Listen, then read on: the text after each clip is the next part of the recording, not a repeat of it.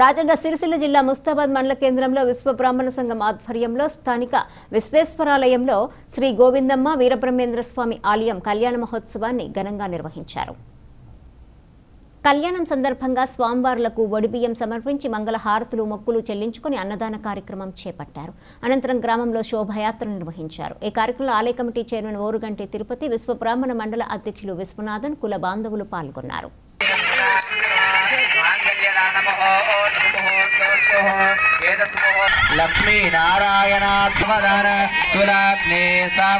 పురస్కారంగా ఈరోజు శివరాత్రిని పురస్కరించుకొని వీరబ్రహ్మేంద్ర స్వామిని ప్రతి సంవత్సరం వారిని వారి కుటుంబ సభ్యులందరూ కూడా భగవంతుడు సదా రక్షించు కావాలని కోరుకుంటున్నాను